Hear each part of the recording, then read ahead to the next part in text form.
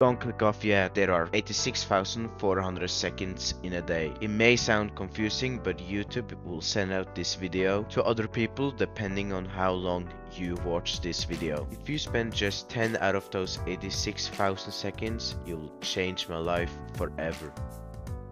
Thank you.